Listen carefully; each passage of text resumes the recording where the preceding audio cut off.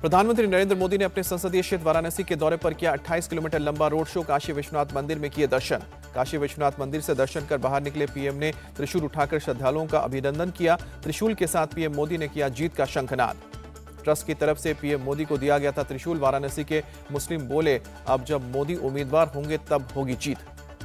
वाराणसी के मुस्लिमों ने की पीएम मोदी से अपील, कहा कि जब तक चुनाव लड़े, वाराणसी से ही लड़े और हमेशा प्रधानमंत्री बने।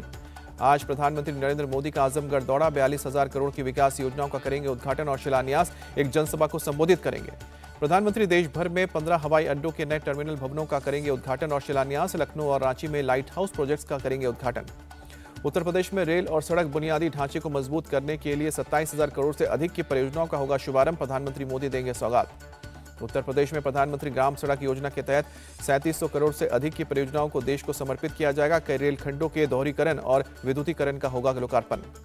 प्रधानमंत्री बहराइच, नानपारा, नेपालगंज रोड लिंक, खेलखंड के आमान परिवर्तन का करेंगे शिलान्यास। परियोजना के पूरा होने के बाद ब्रॉडगेज लाइन के ज़रिए महानगरों से जुड़ जाएगा। प्रधानमंत्री प्रयागराज, जौनपुर, इटावा को भी देंगे सौगात। कई सीवेज, उपचार संयंत्रों और दूसरी परियोजनाओं का भी करेंगे उद्घाटन और लोकार्पण। छत्तीसगढ़ में महतारी वंदना योजना के तहत पहली किश्त जारी की जाएगी। प्रधानमंत्री वीडियो कॉन्फ्रेंसिंग के ज़रिए देंगे सौगात। एमपी के कटनी में मुस्लिम धर्मगुरुओं और जारियानों के बीच प्रधानमंत्री मोदी ने प्रार्थना की। हज़रत इत्र शहादत्ता पीर बाबा चिश्ती की पवित्र स्थली पर चढ़ाई चादर। मुस्लिम धर्मगुरुओं ने 2024 में पीएम मोदी की जीत और सलामती के लिए विशेष प्रार्थना का आयोजन किया। इंडियन माइनॉरिटी फाउंडेशन ने शुक्रान मोदी कार्यक्रम आयोजित किया। धर्मगुरु में पीएम मोदी की लंबे जीवन और सफलता की कामना की, पीएम की ऐतिहासिक जीत और देश के साथ लेकर चलने की दुआ की। सिलीगुड़ी, राधिकापुर ट्रेन को पीएम मोदी ने दिखाई हरी झंडी। सिलीगुड़ी में कई परियोजनाओं की रखी आधारशिला। पीएम मोदी ने ममता सरकार पर निशाना साधा, दलित, आदिवासी और महिला विरोधी बताया। असम के जोरहाट से पीएम ने सत्रह करोड़ के प्रोजेक्ट की दी सौगात। कहा कि इन प्रोजेक्ट्स की वजह से असम में विकास की गति और तेज होगी। पीएम मोदी बोले, नॉर्थ ईस्ट ने मोदी की गारंटी को पूरा होते देखा है। पूरा नॉर्थ ईस्ट कह रहा है अब की बार 400 के पार। काजीरंगा नेशनल पार्क में भ्रमण के बाद प्रधानमंत्री मोदी ने महिला वन रक्षकों की टीम वन दुर्गा से भी बातचीत की। पीएम मोदी का अरुणाचल दौरा ईटानगर से पचपन करोड़ की परियोजनाओं की सौगात दी। पीएम मोदी ने सेला टनल का उद्घाटन किया। दस किलोमीटर लंबे तवांग से चीन सीमा तक दूरी अब कम जाएगी। पीएम मोदी बोले, नॉर्थ ईस्ट के विकास के लिए हमारा विजन आस्था लक्ष्मी का है। ट्रेड और टूरिज़्म की मज़बूत कड़ी बनेगा नॉर्थ ईस्ट। ईटानगर से पीएम ने विपक्ष पर निशाना साधा, कहा कि आपके बच्चे किस हाल में हैं, इसकी परवाह इंडी अलायंस ने ना कभी की है और ना कभी करेंगे। लोकसभा चुनाव से पहले इलेक्शन कमिश्नर अरुण गोयल ने इस्तीफा दिया। विवादों में रही थी नियुक्ति 2027 तक था अरुण गोयल का कार्यकाल। निर्वाचन आयोग में पहले से ही चुनाव आयोग का एक पद था खाली। अरुण गोयल के इस्तीफे के बाद अब केवल मुख्य चुनाव आयुक्त राजीव कुमार ही बचे हैं, जिनके कंधों पर आई चुनावी व्यवस्था की ज़िम्मेदारी होगी। चुनाव आयुक्त अरुण गोयल के इस्तीफे पर कांग्रेस ने सरकार को घेरा, सोशल मीडिया पर लिखा, चुनाव आयोग या फिर चुनाव चूक? केसी वेणुगोपाल ने कहा कि लोकसभा चुनाव के ठीक पहले चुनाव आयुक्त अरुण गोयल का इस्तीफा देना हैरान करने वाला है। पूछा, चुनाव आयोग में क्या हो रहा है? बीजेपी मुख्यालय में बीजेपी केंद्र चुनाव समिति की बैठक आज शाम को सात बजे होगी। बैठक लोकसभा के लिए उम्मीदवारों के नाम होंगे तय। पीएम मोदी गृह मंत्री पार्टी अध्यक्ष जेपी नड्डा मौजूद रहेंगे। सीएम योगी आदित्यनाथ आज आजमगढ़, कुशीनगर और देवरिया में करेंगे जनसभा। देवरिया में छह करोड़ की छह सौ तिहत्तर परियोजनाओं का लोकार्पण, शिलान्यास होगा। सीएम योगी कुशीनगर में कई विकास परियोजनाओं की सौगात देंगे। 435 करोड़ से महात्मा बुद्ध कृषि एवं प्रौद्योगिक विश्वविद्यालय का करेंगे शिलान्यास। ममता बनर्जी आज कोलकाता के ब्रिगेड परेड ग्राउंड में करेंगी बड़ी रैली। माना जा रहा है कि इस रैली में ममता अपनी पार्टी के सभी बयालीस उम्मीदवारों के नामों को एक साथ घोषणा कर सकती हैं। शुभेंदु अधिकारी आज एक जनसभा को करेंगे संबोधित। अदालत का निर्देश है, रैली में ऐसा कुछ नहीं कहा जाना चाहिए, जिससे सौंदर्जखाली के पास के इलाके में कानून व्यवस्था खराब हो। बंगाल में ममता सरकार ने पहली बार रामनवमी पर छुट्टी का ऐलान किया। सरकार की तरफ़ से आयोजकों से शांति से रामनवमी का जुलूस निकालने की अपील की गई है। शाहजहां शेख को आज किया जाएगा कोर्ट में पेश, बशीरहाट के कोर्ट में किया जाएगा पेश। संदेशकाली हिंसा का मुख्य आरोपी शाहजहां का नेटवर्क सक्रिय है, लोगों को धमका रहा है। बीजेपी नेता दिलीप घोष का आरोप। शरद पवार ने पुणे के भोर विधानसभा क्षेत्र में महाविकास अघाड़ी की रैली को किया संबोधित। औपचारिक रूप से अपनी पार्टी की तरफ़ से सुप्रिया सुले को बारामती सीट से पार्टी उम्मीदवार घोषित भी किया। रैली को संबोधित करते हुए बोले शरद पवार, देश को बांटने की सोच रखने वालों को जब तक हराएँगे नहीं, तब तक रुकेंगे नहीं। अरविंद केजरीवाल ने महिलाओं से की, आपको वोट देने की अपील, बोले, अगर आपका पति मोदी मोदी करे तो उसे रात को खाना मत देना। आम आदमी पार्टी ने दिल्ली के सिविक सेंटर में आयोजित किया महिला सम्मान समारोह, लोकसभा चुनाव अभियान की शुरुआत की। मध्य प्रदेश के सीएम मोहन यादव ने गुरुग्राम में एक कार्यक्रम को किया संबोधित, कहा कि पाकिस्तान के बाप में दम नहीं कि अब भारत की तरफ़ देखें। शंभू बॉर्डर पर बैठे किसानों के समर्थन में आज पंजाब में किसान रेल रोको आंदोलन करेंगे। चार घंटे के लिए देश भर में रेल रोको आंदोलन का आह्वान। गृहमंत्री अमित शाह ने पटना में पिछड़ा, अति पिछड़ा महासम्मेलन में संबोधित किया, कहा कि कांग्रेस और आरजेडी आपके बच्चों का भला नहीं कर सकती। गृहमंत्री अमित शाह ने बिहार की जनता पर जताया भरोसा, कहा कि इस बार लोकसभा की सभी 40 सीटें जीतेंगे। अमित शाह ने लालू यादव पर सादा निशाना, कहा कि गरीबों की ज़मीन कब्जा करने वाले नेताओं को अब छोड़ा नहीं जाएगा, कार्रवाई के लिए जल्द बनेगी कमेटी। अमित शाह ने बिहार के भूमाफियाओं को चेताया, कहा कि डबल इंजन की सरकार उल्टा लड़का कर सीधा कर देगी। छत्तीसगढ़ के रायपुर में किसान महाकुंभ का आयोजन। केंद्रीय मंत्री राजनाथ सिंह बोले 25 करोड़ लोग गरीबी से बाहर आ चुके हैं। राजनाथ सिंह ने जनता से की अपील कहा कि तीसरी बार बीजेपी सरकार बनाए, हिंदुस्तान में कोई भी गरीब नहीं रहेगा। एनडीए में शामिल हुई टीडीपी और Janasena party, BJP chief JP Nadda ने किया स्वागत, कहा कि आंध्र प्रदेश के विकास के लिए मिलकर करेंगे काम। आंध्र प्रदेश में बीजेपी, टीडीपी और जनसेना पार्टी मिलकर लड़ेगी लोकसभा और विधानसभा का चुनाव, एक दो दिन में होगा सीट का बंटवारा। आंध्र प्रदेश के चुनाव प्रचार में जुटी बीजेपी शिवराज सिंह चौहान नेल्लौर ने दीवार लेखन अभियान से शुरुआत की।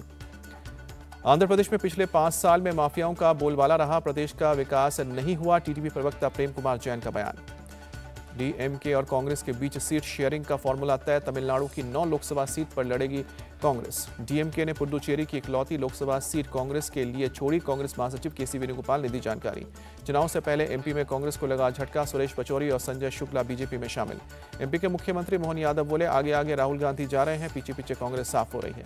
महायुति में सीट शेयरिंग पर 80 परसेंट मामले सुलझे, सिर्फ़ 20 परसेंट पर चर्चा बाकी। डिप्टी सीएम देवेंद्र फडणवीस का बयान। बिहार में बीजेपी ने सीट शेयरिंग की कवायद तेज की, जीतन मांझी के बेटे संतोष से मिले केंद्रीय मंत्री नित्यानंद राय। केंद्रीय मंत्री अनुराग ठाकुर ने हिमाचल प्रदेश की कांग्रेस सरकार पर बोला हमला, कहा कि कांग्रेस ने जनता को ठगने का काम किया, जनता से किए एक भी वादे को पूरा नहीं किया। राहुल गांधी का बीजेपी पर आरोप, आदिवासियों को अधिकार नहीं देना चाहती है बीजेपी। लोकसभा चुनाव अकेले लड़ेगी बीएसपी, मायावती ने किया ऐलान, कहा कि बीएसपी की ताकत देख विरोधी बेचैन। अपना दल की नेता अनुप्रिया पटेल की सुरक्षा कैटेगरी को किया गया अपग्रेड, अब जेड कैटेगरी की सुरक्षा मिली। एसपी चीफ अखिलेश यादव ने दिया नया नारा 80 हराओ, एमएसपी लाओ। कहा कि यूपी की जनता स्वागत और विदाई दोनों अच्छे तरह से करती है। ओडिशा बीजेपी के डेलीगेशन ने मुख्य निर्वाचन अधिकारी से मुलाकात की, निष्पक्ष चुनाव कराने की मांग की। झारखंड से बीजेपी ने प्रदीप वर्मा को बनाया राज्यसभा उम्मीदवार, प्रदीप वर्मा ने शीर्ष नेतृत्व का जताया आभार। चंडीगढ़ की दो पार्षद वापस आम आदमी पार्टी में लौटी, आपके तीन पार्षद बीजेपी में हुए थे शामिल। हिमाचल के सीएम सुखविंदर सिंह सुक्खू का दावा, हमारी सरकार पाँच साल चलेगी, ये आम आदमी पार्टी की सरकार है। टनकपुर देहरादून ट्रेन की शुरुआत। सीएम धामी ने टनकपुर रेलवे स्टेशन से हरी झंडी दिखाकर रवाना किया। सीएम पुष्कर सिंह धामी ने ट्रेन से की यात्रा, ट्रेन की सौगात को लेकर पीएम मोदी और रेल मंत्री को दिया धन्यवाद, कहा कि पीएम मोदी ने रेलवे को एक नया स्वरूप और सुरक्षा दी। पटना में लालू यादव के करीबी सुभाष यादव के ठिकाने पर ईडी की रेड अवैध खनन के मामले में छापेमारी।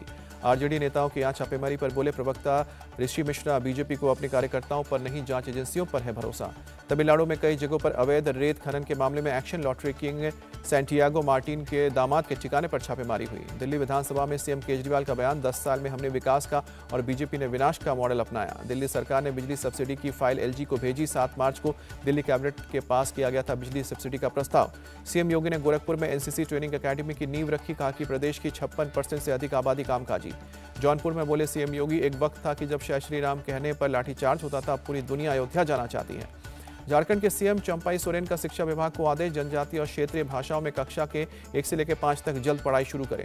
हिमाचल में वायुसेना ने चलाया ऑपरेशन लाहौल के स्तिरिंगरी हेलीपैड से एयरलिफ्ट किए गए मरीज़। इम्फाल से म्यांमार के रेफ्यूजियों को वापस भेजा गया। पिछले दो दिनों में तीस रेफ्यूजियों को डिपोर्ट किया गया। दिल्ली के सीलमपुर में हथियारबंद हमलावरों ने की फायरिंग, दो लड़कों की लगी गोली, एक की हुई मौत और दूसरे को अस्पताल में भर्ती किया गया। पुलिस के मुताबिक रात करीब पौने नौ बजे हुई घटना पुलिस मौके पर पहुंचकर अब जाँच कर रही है। पुलिस अपराधियों की पहचान के लिए सीसीटीवी का इस्तेमाल कर रही है। पुलिस के मुताबिक मृतक अरबाज का आपराधिक रिकॉर्ड है। पहले भी हुआ था अरबाज पर हमला।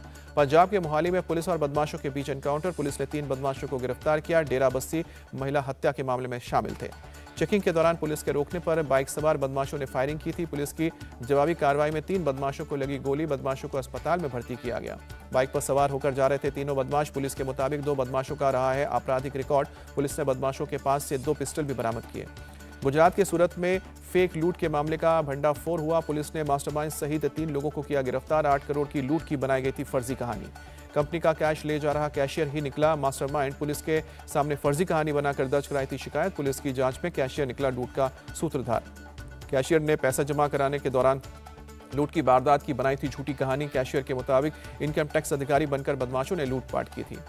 यूपी के अंबेडकर नगर में अनियंत्रित होकर डबल डेकर बस पलटी। हादसे में एक शख्स की हुई मौत, दो दर्जन से अधिक यात्री घायल हुए। महाराष्ट्र के कोल्हापुर में पटाखा फैक्ट्री में लगी भीषण आग। फायर ब्रिगेड की टीम ने कड़ी मशक्कत के बाद आग पर काबू पाया। फैक्ट्री में आग लगते ही होने लगे धमाके। आसपास के इलाके में दहशत का माहौल। हादसे में किसी की जान को नुकसान नहीं, पुलिस हादसे की जाँच में जुटी। इंद्रलोक पहुँचा जमेत उलमाए हिंद का डेलीगेशन। जमा मस्जिद के इमाम से की बात, पुलिस वाले के खिलाफ कोर्ट जाने की बात कही। एआईएमएम चीफ असदुद्दीन ओवैसी ने नमाजियों से बसलुकी का मामला उठाया, कहा कि इस्लाम के खिलाफ नफरत अब आम हो गई है। वुमेन्स प्रीमियर लीग में आज दिल्ली कैपिटल्स और रॉयल चैलेंजर्स बेंगलुरु के बीच होगी टक्कर। दिल्ली में होगी टक्कर। शाम को साढ़े सात बजे शुरू होगा मैच। वुमेन्स प्रीमियर लीग में मुंबई ने गुजरात को सात विकेट से हराया पॉइंट्स टेबल में टॉप पर पहुँची। धर्मशाला टेस्ट में भारत ने इंग्लैंड को पारी और चौसठ रन से हराया, पाँच मैचों की टेस्ट सीरीज़ पर किया चार एक से कब्जा। चेक रिपब्लिक की क्रिस्टीना पिस्कोवा की सिर सजा मिस वर्ल्ड 2024 का ताज। 117 देशों के प्रतियोगियों को मात देकर खिताब जीता। मिस वर्ल्ड की ज्यूरी में शामिल इंडिया टीवी के चेयरमैन और editor in chief Rajat Sharma ने कहा कि सिनी शेट्टी ने टॉप फोर में नहीं आने से निराशा हुई है, लेकिन चेक रिपब्लिक की जो प्रतियोगी मिस वर्ल्ड बनी है, वो डिजर्व करती थी।